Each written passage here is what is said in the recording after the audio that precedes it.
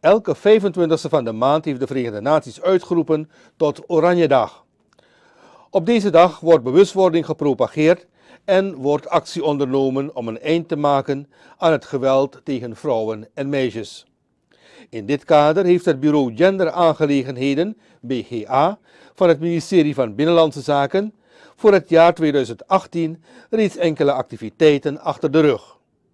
Volgens Deti Jagan, hoofdstafmedewerker van het BGA, is er voor de kleur oranje gekozen omdat het een heldere kleur is.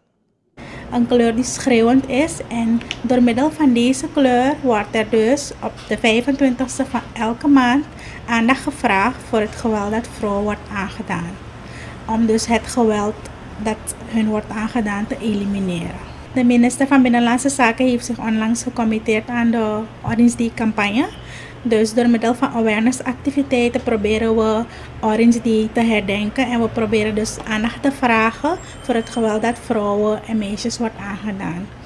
Het is namelijk zo dat we ook vragen aan andere organisaties, aan stakeholders, om op de 25e van elke maand iets oranje te dragen of om hun omgeving oranje te kleuren, om zodoende dus ook aandacht te vragen voor het geweldvraagstuk.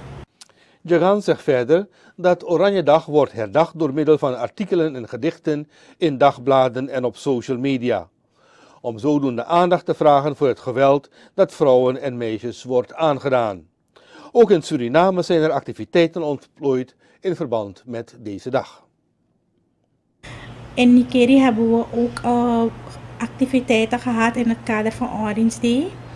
Er zijn een aantal kinderen geïnformeerd over Orange Day. En ze zijn dus dan gaan nadenken hoe ze geweld kunnen elimineren.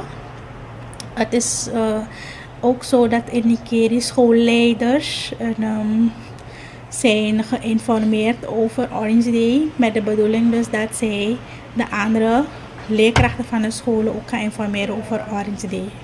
Dus voor de komende periode, dus voor de resterende maanden van dit jaar, zullen we op de 25 nog awareness activiteiten hebben.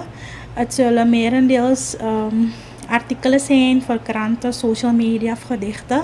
Zowel in Paramaribo als in Nikeri zullen er dus nog low-budget activiteiten uitgevoerd worden in het kader van Orange Day.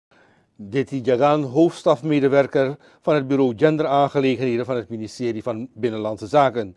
Zij sprak in het kader van Orange Day, die door de Verenigde Naties op elke 25e van de maand is uitgeroepen om bewustwording te propageren over het geweld, om het geweld tegen te gaan tegen vrouwen en meisjes.